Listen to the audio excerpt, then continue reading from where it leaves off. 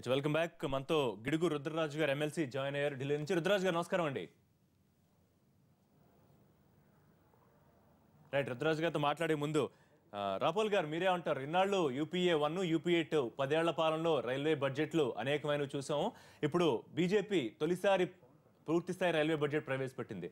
అయితే మనం చూసుకుంటే చాలా కాలం నుంచి అవే పాత రైల్వే సిస్టము ఆధునీకరణకి చాలా దూరంగా ఉన్నాము. వేరే చైనా లాంటి దేశాలు చూసుకుంటే కనుక చాలా ముందుకెళ్ళి ఆధునిక యుగంలో దూసుకుపోతున్నాయి రైల్వే వ్యవస్థలు. అంటే ఎక్కడ సమస్య కనిపిస్తోంది? ఆ కు- సుమారు రైల్వే లైన్లు కూడా ఏదో పది పన్నెండు వేల కిలోమీటర్లు తప్ప అంతకన్నా పెంచుకోలేకపోయాం. ఏది బ్రిటిష్ వాళ్ళు ఇచ్చి వెళ్ళిపోయిన రైల్వేల తర్వాత. ఎక్కడ సమస్య కనిపిస్తోంది?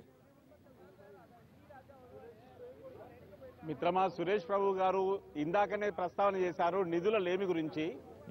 నిధుల నిర్వహణలో తీసుకోవాల్సిన జాగ్రత్త గురించి వారు ప్రత్యేకంగా ఇన్వెస్ట్మెంట్ కౌన్సిల్ ఇన్వెస్ట్మెంట్ సెల్ ఒకటి నిధులను సమీకరించడం కోసం నిధులను సద్వినియోగపరచడం కోసం ప్రత్యేకమైనటువంటి విభాగాన్ని ఏర్పరుస్తున్నానటువంటి సంకేతాన్ని ఇచ్చారు. అంతేకాకుండా అనేక కోణాల్లో అవసరమైనటువంటి అన్ని విషయాల్లో కూడా ఎప్పటికప్పుడు సామాజిక పరమైనటువంటిది కానివ్వండి వాతావరణ పరమైనటువంటిది కానివ్వండి అదేవిధంగా సాంకేతిక పరిజ్ఞాన పరమైనటువంటిది కానివ్వండి నిర్వహణ పరమైనటువంటిది కానివ్వండి అన్ని విషయాల్లో ఆడిటింగ్ జరగాలి అనేటువంటి తనకున్నటువంటి చార్టెడ్ అకౌంటెంట్ పరిజ్ఞానాన్ని కూడా సద్వినియోగం ప్రయత్నం చేసేటువంటి దిశలో సురేష్ ప్రభు గారి అడుగులు పడతా ఉన్నాయి.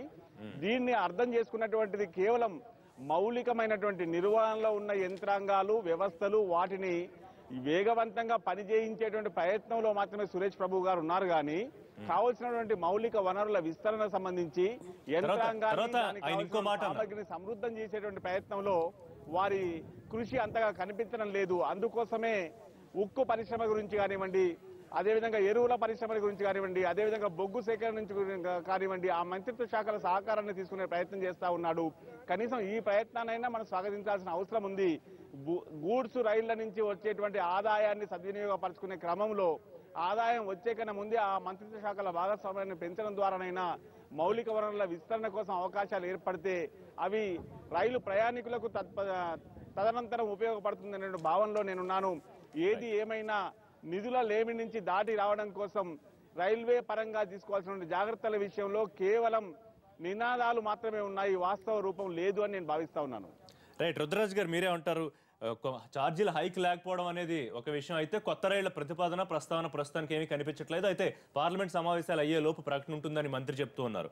అయితే ఆయన ఒక్క రాత్రిలో పరిస్థితి మారిపోదు. ఇంత పెద్ద వ్యవస్థ ఉద్యోగులు సర్కారుతో సాధ్యం కానిది కూడా ఏమీ లేదు. మనం సాధించగలం అనే ఒక పాజిటివ్ భరోసాతో ఆయన ముందుకెళ్ళే ప్రయత్నం చేశారు. ఎట్లా అనిపించింది మీకు? ఆ దిశగా ప్రయాణం చేస్తే బాగానే ఉంటుందండి. కానీ ఛార్జీలు లేకపోవడం అనేటువంటిది ఈ రోజు బడ్జెట్ ప్రతిపాదనలో పెట్టలేదు. కానీ ఆల్రెడీ ఎన్డీఏ ప్రభుత్వం అధికారంలోకి రాగానే ఓసారి ఛార్జీలు ఓటం చేసినటువంటి విషయం మనం అందరం కూడా గతంలో జరిగిన దాన్ని గుర్తు తెచ్చుకోవాలి. అదేవిధంగా ఇప్పుడున్నటువంటి పరిస్థితిలో అరవై ఏడు శాతం వరకు నిధుల్ని ఓన్లీ శానిటేషన్కి సంబంధించి కానీ సేఫ్టీకి సంబంధించి కానీ వీటిని అభివృద్ధి చేయడం కోసమే మెజారిటీగా ఉపయోగిస్తున్నట్టు మనకి బడ్జెట్ అలొకేషన్స్లో కనబడుతోంది.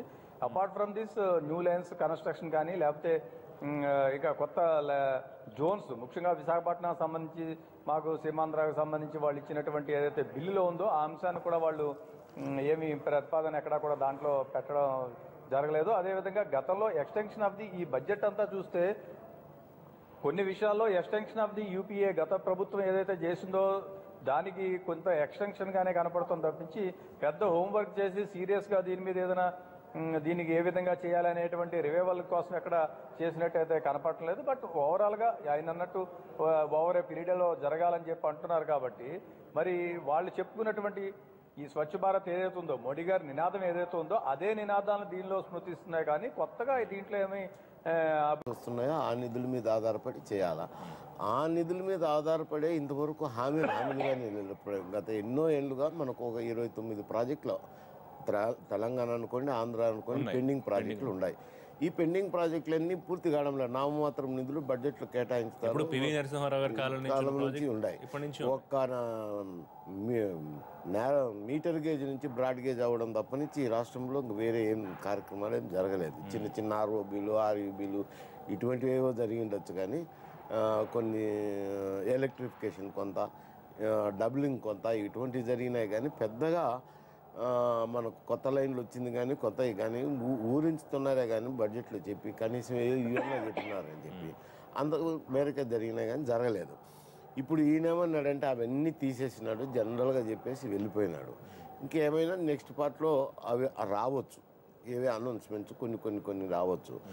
వచ్చినా కానీ చెప్పి చేయకపోవడం కన్నా చెప్పకుండా బెటర్ అని నేను అనుకోను. ఎందుకంటే పార్ట్ ఇది part and parcel of budget ఏదైతే జనరల్ చెప్తారో కొన్ని పార్లమెంట్ సభ్యులు కానీ మంత్రులు కానీ ఇతరుల నుంచి వచ్చిన రిప్రజెంటేషన్స్ గురించి వాళ్ళు చెప్పాలి బడ్జెట్లో అటువంటివి ఏమి చెప్పకుండా వదిలేసి కొత్త వారు సృష్టించుకున్నారు ఆయన.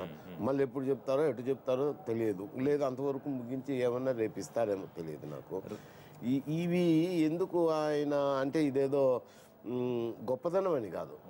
ఆయన దగ్గర చేతి పాతవి నెరవేర్చేదానికి ఎనిమిది నెలలు టైం అయిపోయింది. ఏవైతే ఓటాన్ అకౌంట్ బడ్జెట్లో చెప్పినారో అవి నెరవేర్చలేకపోయినారు. ఇప్పుడు కొత్తవి చెప్పాలా? అందుకని ఆయన కొత్త విధానాన్ని రూపొందించుకున్నారేమో చెప్పకుండా ఏదో మా ఏదో empty weather makes more noise అన్నట్టు టప టప చెప్పి వెళ్ళిపోయినాడు. అది? నిధులు అనేది ఎక్కడ కనపడడం లేదు. నిధులు లేకుండా ఒట్టి చేత్తో మూరేస్తే ఏం ప్రయోజనం? ఒట్టి చేత్తో మూరేస్తే ఏం ప్రయోజనం లేదు. అంతేనా రామచంద్రారెడ్డి గారు? అదే అనుకోవాలా? ఎంటీ రిజల్ మేక్స్ అని. ఇప్పుడు గతంలో మనం అనుకునే వాళ్ళం అదిగో వాళ్ళు పలానా రాష్ట్రానికి రైల్వే మంత్రిగా ఉన్నారు. ప్రాజెక్టులు అన్నీ అటు వెళ్ళిపోతున్నాయి. ఎక్కువ కేటాయింపులు అటు వెళ్ళిపోయాయి. మనకి ఏమీ లేవు. సౌత్ సెంట్రల్ జోన్ మన రైల్వేలో ప్రధానంగా అత్యధిక ఆదాయ వనరు. కానీ దానికి తగ్గ స్థాయిలో అలాట్మెంట్స్ ఎప్పుడు మనం చూసిన పరిస్థితి లేదు. సో ఇప్పుడు ఈ బడ్జెట్ రైల్వే బడ్జెట్ ప్రసంగాన్ని మనం ఎట్లా అర్థం చేసుకోవాలి? అంటే రానున్న రోజుల్లో ఒక్కోటి కార్యక్రమ రూపంలో చేస్తారు ముందే చెప్పడం ఎందుకు అని ఎదురు చూడాల్సిన అవసరం ఏమన్నా ఉందా? ఇప్పుడు ఈ బడ్జెట్లో పెట్టినటువంటి దాంట్లో ఈ పదిహేడు జోన్లలో ఈ దేశంలో ఉన్నటువంటి పదిహేడు జోన్లలో సౌత్ సెంట్రల్ రైల్వే నుంచే ఇన్కమ్ ఎక్కువ ఈ రోజు కూడా బాగుంది. అంటే టూ థౌజండ్ ఎయిట్ నుంచి మొదలుకుంటే ఈ టూ థౌజండ్ ఫిఫ్టీన్ వరకు కూడా మనకు సౌత్ సెంట్రల్ రైల్వే అధికమైనటువంటి నిధులు అధికమైనటువంటి అంటే ప్యాసింజర్స్ తిరిగేటటువంటిది ఇన్కమ్ కూడా రెవెన్యూ జనరేషన్ కూడా ఇక్కడ నుంచి ఎక్కువ ఉంది. కానీ సౌత్ తల్లి ప్రేమ ఈ- ఈ మన మన మీద చూపిస్తూ ఉన్నారు ఈ దీనిపైన. కాబట్టి దీన్ని తప్పనిసరిగా రాజకీయ పార్టీ కూడా అతీతం కాదు. అప్పుడు కాంగ్రెస్ అయినా ఇప్పుడు బీజేపీ అయినా అంతే బీజేపీ అదే బీజేపీ విషయం చెప్పబోతున్నాను. ఇప్పుడు ఈనాడు ఇరవై ఆరు వేల కిలోమీటర్ల యొక్క లైన్స్ కొత్త లైన్స్ వేయాలని చెప్పని చెప్పడం జరిగింది. చార్జెస్ ఏ మాత్రం కూడా పెంచకుండా పెట్టినటువంటి బడ్జెట్ ఇది? దయచేసి ఇది గమనించాలి. అప్పుడు అప్పుడు పెంచినటువంటిది అప్పుడు ఏళ్ళ తర్వాత. ఎన్ని సంవత్సరాల తర్వాత పెంచారో దయచేసి అది కూడా గమనించాలి మనం అందరం కూడా. కాబట్టి ఇవన్నిటిని పక్కన పెట్టి నిధులు కావాలి. ఈనాడు లక్ష పదకొండు వేల కోట్లతో పెట్టడం జరిగింది. కాబట్టి వీటన్నిటిని కూడా నిధులు ప్లాన్ చేసుకొని ఏ రకంగా ఎక్కడెక్కడ ఏం అందుకని ఇప్పుడు ఏ రాష్ట్రంలో కూడా స్పెషల్ ట్రైన్స్ ఎక్కడ కూడా ప్రత్యేకమైన రైళ్ళు ఎక్కడ కూడా ఇచ్చినటువంటిది మనకు కనిపించడం లేదు. కాబట్టి వీటన్నిటిని కూడా బేరూజ్ చేసుకొని రాజకీయం కూడా ఆలోచించి రాష్ట్రాల ముఖ్యమంత్రులతో కూడా కూర్చొని ఇవన్నీ కూడా తెలుసుకొని బడ్జెట్ని ఏ రకంగా ప్లాన్ చేసుకోవాలని అన్ని కూడా ఆలోచించి చేస్తారేమో నేను అనుకుంటున్నాను. కానీ ఒకటి మాత్రం సేఫ్టీ మీద మాత్రం ఆధునీకరణ మీద మాత్రం ప్రత్యేకమైన శ్రద్ధ వహించారు. ఉన్నాయి. చెప్పి నువ్వు బాగున్నాయి బట్ ఎంతవరకు అవి సాధ్యానికి తొమ్మిది వేల దగ్గరగా నాలుగు వందల ఉంటాయి? కిలోమీటర్లు. తొమ్మిది వేల నాలుగు వందల కిలోమీటర్లు ఈ నా ఇప్పుడు ఈసారి చేయాలని చెప్పని అనుకోవడము. ఇరవై ఆరు వేల కిలోమీటర్లు ఏ రకంగా చేయాలి? తర్వాత బోగీస్కి ఏ రకంగా చేయాలి? ఆధునీకరణ ఏ రకంగా పెంచాలి? ఇంకా సేఫ్టీ మెజర్స్ ఇంకా ఏ రకంగా బాగా తీసుకోవాలి? ఓవర్ రైల్వే ఓవర్ బ్రిడ్జెస్ ఏ రకంగా ప్లాన్ చేయాలి? రైల్వే క్రాసింగ్ దగ్గర కూడా మనుషులు లేకుండా కూడా ఏ రకంగా అంటే మ్యాన్ అవర్స్ని తగ్గించేసి ఏ రకంగా ఆధునీకరణ చేయాలి టెక్నాలజీని ఏ రకంగా ఇంప్రూవ్ చేసుకోవాలి అనే దాని మీద వాళ్ళు ఆలోచిస్తున్నారు.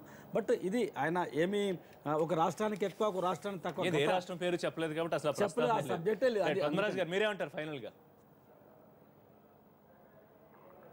సార్ ఇప్పుడు బేసికల్గా గతంలో ఉన్నటువంటి పెండింగ్ ప్రాజెక్ట్స్ ఏ ఉన్నాయి? ఇటు ఆ, ఆంధ్రాకి సంబంధించి కానీ రాయలసీమకు సంబంధించి కానీ లేకపోతే తెలంగాణ రాష్ట్రానికి సంబంధించి కానీ. గతంలో every time railway budget preparation జరిగేటప్పుడు ఆయా పార్లమెంట్ సభ్యులందరినీ పిలవడం వాళ్ళ దగ్గర నుంచి కొన్ని ప్రపోజల్ తీసుకోవడం త్రూ గవర్నమెంట్ చేయడం కూడా జరుగుతూ ఉండేది. అది కూడా మనం ఈసారి గవర్నమెంట్ తరపు నుంచి రెండు రాష్ట్రాల నుంచి కూడా ఆ ఎక్సర్సైజ్ జరగకపోవడం వలన కూడా కొంత మనకి నష్టం జరిగిందంటే అదేవిధంగా ఇప్పుడు సపోజ్ మా కోనసీమ ప్రాంతం ఉంది. మమతా బెనర్జీ గారు మంత్రిగా ఉండగా కాకినాడ కోటిపల్లి లైన్ తీసుకురావడం జరిగింది. దాన్ని ఎక్స్టెన్షన్ కింద వయా అమలాపురం నరసాపురం ఇస్తారని చెప్పి అన్నారు. అది మాకు ఆ ప- పునాదురాళ్ళ లాగే ఉన్నాయి కానీ అవి ఎక్కడా కూడా ఇప్పటివరకు ఇంప్లిమెంటేషన్ కాలేదు. సో ఈ విధంగా మన రాష్ట్రంలో సుమారు ఇరవై ఎనిమిది ఇరవై తొమ్మిది పాత ప్రాజెక్ట్స్ ఉన్నాయి. వాటిలన్నిటి గురించి కూడా ఎక్కడ ప్రస్తావన తేవడం చాలా వింతగా కనపడుతుంది. ఎందుకంటే బడ్జెట్ అనేటువంటిది government is a continuous process కాబట్టి ప్రామిస్ చేసినప్పుడు కూడా దానికి సంబంధించి ఎంతో కొంత నిధుల్ని కేటాయించడం దానికి సంబంధించి కొంత సర్వీస్కి సంబంధించి కానీ లేకపోతే లైన్ ఎలకేషన్ కానీ లేకపోతే ట్రాక్ కన్స్ట్రక్షన్ కానీ ఏదో దానికి టెక్నికల్గా కొంత ఏదో యాక్టివిటీ చేయడం ఫండ్స్ ఏర్పాటు చేయడం జరిగేది. అది ఈ బడ్జెట్. ఎక్కడ కనపడలేదు మరి. ప్రభుత్వం కానీ లేకపోతే మంత్రి గారు కానీ తర్వాత తదుపరి ఏ విధంగా దాని మీద చర్యలు తీసుకుంటారనేది మనం చూద్దాం. రైట్ థ్యాంక్ యూ అండి పార్టిసిపేట్ చేసినందుకు. థ్యాంక్ యూ ఆనంద్ భాస్కర్ గారు. థ్యాంక్ యూ వెరీ మచ్ అండి స్టూడియోకి వచ్చి పార్టిసిపేట్ చేసినందుకు.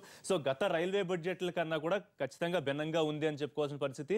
ఏ రాష్ట్రం పేరు లేదో దానికి ఎక్కువ అలాట్మెంట్స్ తక్కువ అయ్యాయనే వాదనకు కూడా ఆస్కారం లేకుండా మేబీ రానున్న రోజుల్లో పార్లమెంట్ సమావేశాలు అయ్యే లోపు మిగతా అలాట్మెంట్స్ చెప్పే అవకాశం ఏమన్నా ఉందేమో చూడాలి. ఇది ప్రస్తుతం ఇవాళ ఆయన ప్రవేశపెట్టిన బడ్జెట్కి సంబంధించి ప్రత్యేక చర్చ. చూస్తూనే ఉండండి ఎన్టీవీ.